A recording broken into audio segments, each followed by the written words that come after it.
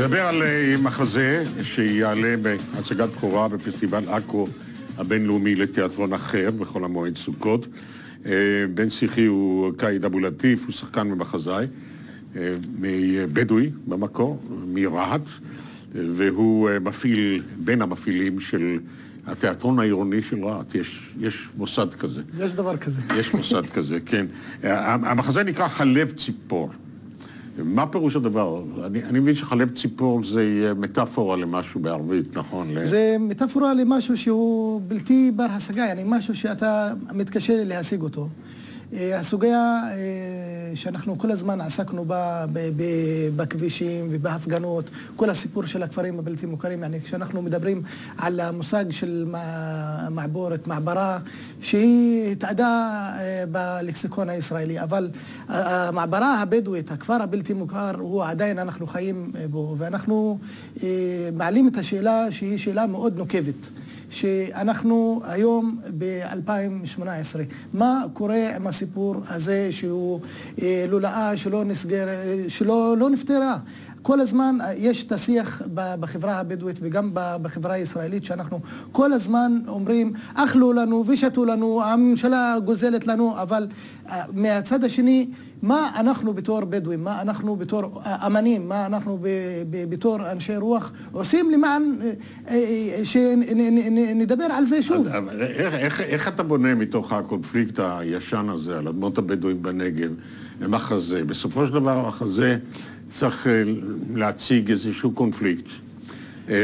במשך זמן קצר, באמצעים מאוד מוגבלים, נכון. מה, מה, מהי העלילה של המחזה שלך? אני בתור ילד, כשהדודים שלי היו אה, חיים בכפר בלתי מוכר, אני זוכר בתקופת הבחירות, ואנחנו חיים עכשיו בתקופת הבחירות, היה מגיע אריה דרעי, מביא לילדים הקטנים חולצות, רשום ש"ס לכל נאס, מביא גם משאית של, אה, של חצץ, ואומר להם... זה כבר קשור למחזות כן, של אפרים קישון. כן, ואז אתה אומר, אה, פה יש לך שני, שני עולמות, יש עולם של, מבוג... של שני אחים. אח הגדול הוא אח... אח שהוא מעבד את האדמה והוא חי עם האדמה הזאת והוא לא רוצה לעזוב אותה בלי מה שלא יהיה יהיה ומהצד השני יש לך את האח המלומד, למד עורך דין, הוא איש העולם הגדול ואז הוא אה, סוגר עסקה עם הממסד, אה, יש להם אלף דונם בכפר הבלתי מוכר, הגיע להסדר שהוא מקבל חמישים דונם ביישוב קבע לעומת האלף דונם שהוא חי בהם והוא חוזר הביתה וכשחוזר הביתה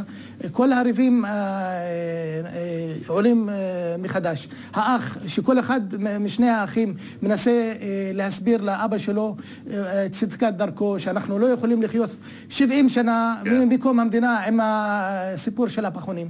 מהצד השני אומר, אנחנו כל הזמן חיינו פה, איפה אנחנו נחיה בקופסאות הקרטון שנמצאים ברהט או בתל שבע או בכל יישוב קבע, שאין בהם לא שירות ולא כלום. אז על, על הקונפליקט הזה אנחנו מדברים, אנחנו מביאים אותו, זה פעם ראשונה שאנחנו מעלים את הסוגיה הזאת בצורה תיאטרלית. כל הזמן שדיברו על הסוגיה הזאת, הביאו את זה כערבי דיון, הביאו את זה כן. כהרצאה, ואנשים אמרו, יעני, כאילו, לא רוצים לשמוע את זה, אתם לא האפוטרופוסים שלנו, אתם לא מבינים יותר מאיתנו, וכל פעם שאנחנו מביאים את זה בצורה אומנותית, בצורה תרבותית, אנשים מדברים על זה. אה, זה מעניין.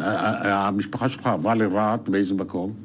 המשפחה שלי הייתה אה, מחוץ לרהט, ואז עם ההכרה של רהט אה, נכנסה לתוך רהט, אבל המשפחה, נגיד, אני חי עם אה, אשתי, היא חיה, ב... באה מכפר בלתי מוכר, ואז כשאני שולח אותה, נגיד, בסופי שבוע, אומרת לי, קייד, אני לא רוצה לישון הלילה, יש את המזגן ברהט, אני, מה אתה מביא אותי עכשיו לכפר בלתי מוכר? וכל החיים שלה הייתה חיה בכפר בלתי מוכר.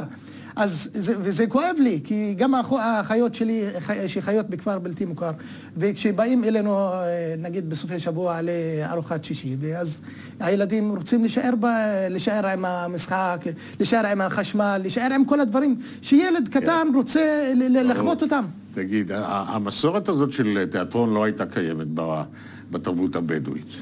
כמובן, וכשיש תיאטרון ברהט, זה כשלעצמו הישג עצום של היוזמים, כי אתה צריך לגדל דור של צופים. נכון. זה אה, הריטואל של, של תיאטרליות, של סיפור, מספר סיפורים, זה נמצא ב, אצל ה, גם הזקנים בדיוואן וגם אצל האנשים אה, כן.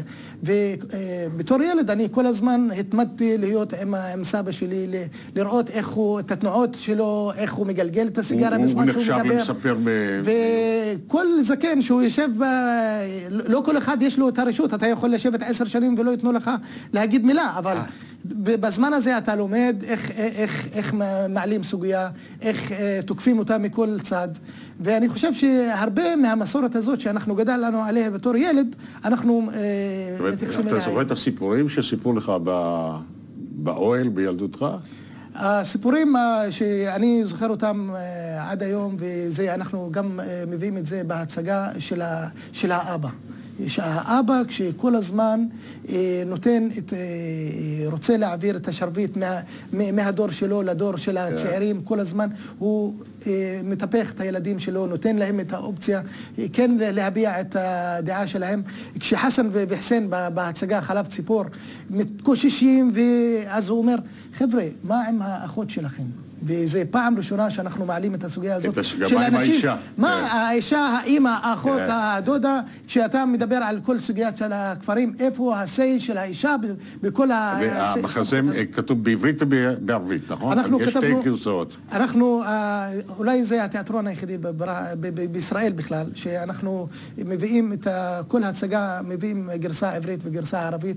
אנחנו פתוחים לקהל, אנחנו פתוחים כי... ישנה בעיה. הבעיה של הכפרים הבלתי מוכרים היא בעיה שאנחנו חיים איתה, יש את הפתרון. בוא נעצור כאן, אה, קאיד, אני לצערי הרב. אז קאיד אבו לטיף, שחקן ומחזאית אה, בעכו, זה מוצג. בעכו, אנחנו נשמח מאוד לראות את כל הצופים. תודה רבה. אנחנו עוברים...